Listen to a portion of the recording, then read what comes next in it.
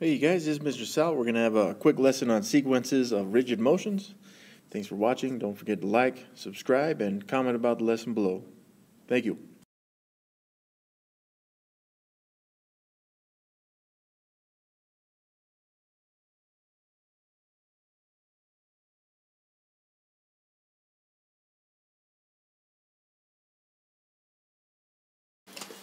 In the following picture, a triangle ABC can be traced onto a transparency and mapped onto triangle A prime, B prime, C prime, which basic rigid motion or sequence of would map one triangle onto the other.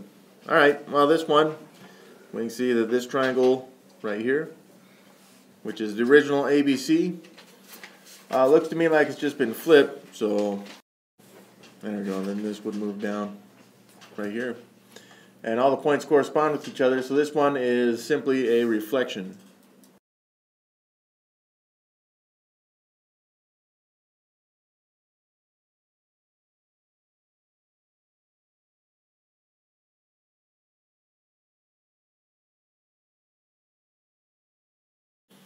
All right, this one, uh, same idea with this triangle, pretty much the same triangle right here.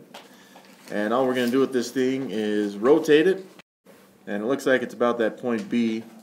And yeah, we get this other triangle right here. So this one is a rotation.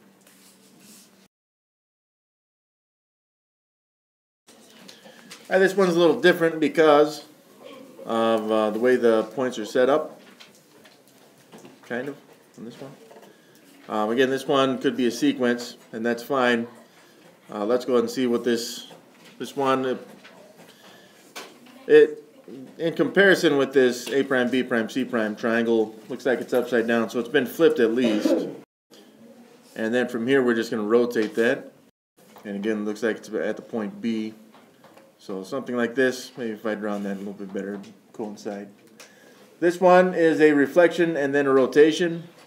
It is possible you could have done a rotation then a reflection as well, but uh, that's okay either way. Can it just be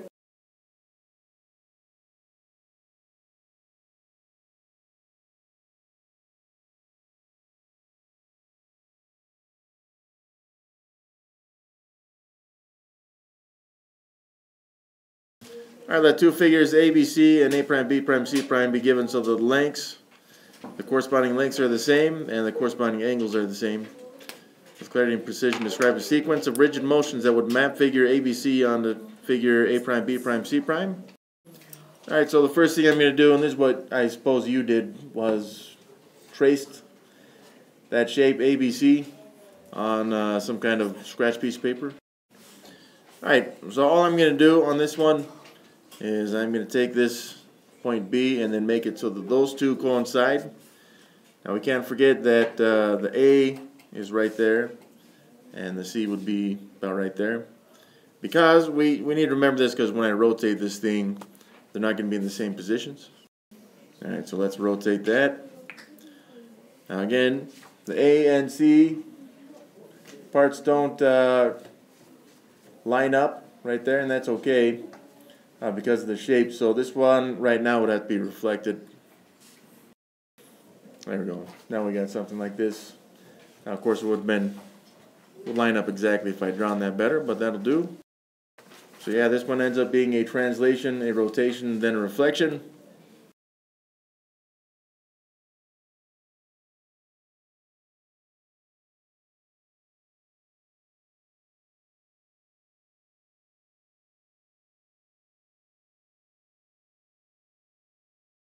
All right, here's the problem set. Let there be the translation along that vector then let there be a rotation around point A, negative 90 degrees clockwise, and let there be the reflection across line L. Let S be the figure as shown below. Show the location of S after performing the following sequence, translation followed by rotation, followed by reflection. Okay. So once again, I'm just going to trace that triangle. And I can see this vector is up two, and then to the right one. So I'm going to take these three points on the triangle, then move them up two, to the right one. So there's the one point, up to the right one. There's the next one, up to to the right one. And there's the next point to give us this new triangle, which we could call S prime. now. But then it says to reflect this over the line L. No, we got to rotate it first. So this is a 90 degree rotation, negative 90 degrees, which means from, let's say, this corner to A, it's got to be 90 degrees in this direction. So this is the new, I guess, point right there. And it's going to work the same way with all these. This one 90 degrees here. so the next one would be, there we go. So it's been moved up this way. And this would give us this triangle here, which we could call S double prime.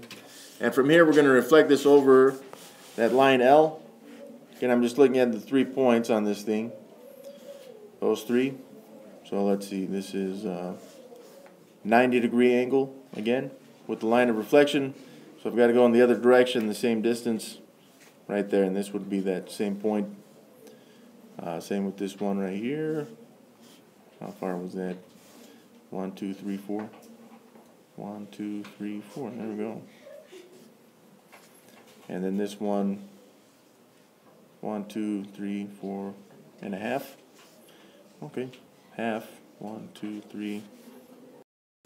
There we go. And we can see this point would be right here. So this gives us the final triangle. Uh, looks like it was transformed three times, so we can call that S triple prime. And this right here is the triangle that we end up with.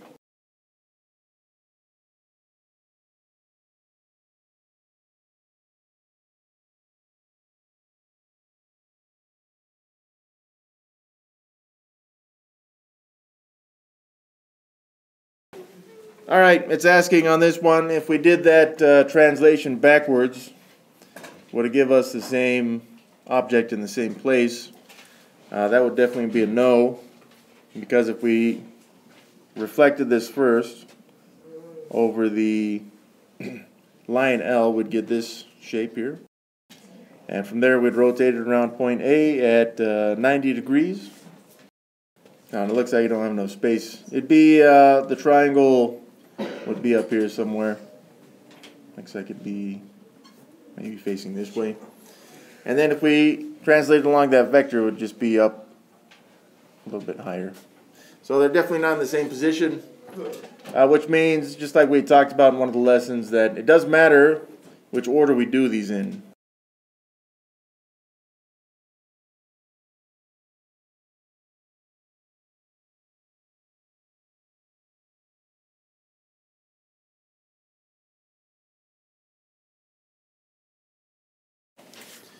All right, we're going to reflect this triangle ABC across the vertical line, parallel to the y-axis going through the point 1, 0.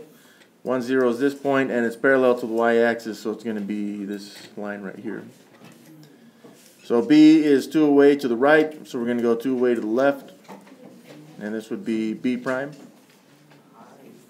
And then A is 3 to the right, so A will be, A prime will be 3 to the left.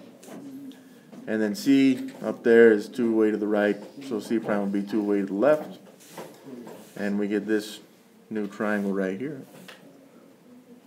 There's C prime.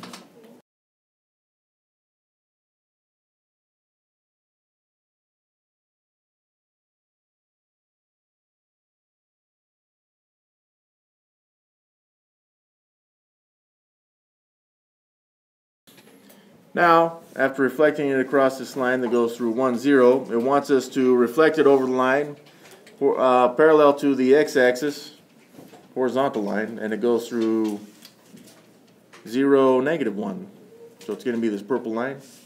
So once again, uh, B prime is 2 up, so B double prime will be 2 down. And then A double prime is right next to it. And then C is 5 up, so we got to go 5 down to get C double prime. And this is our new triangle right there.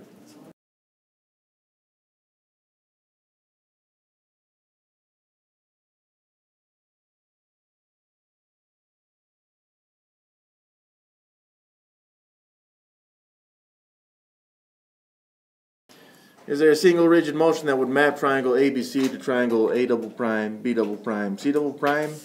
Yes. How do we know?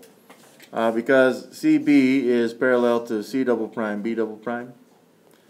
And BA is parallel to B double prime, A double prime. And also A double prime, C double prime is parallel to AC. So we know there's a 180 degree rotation on this one.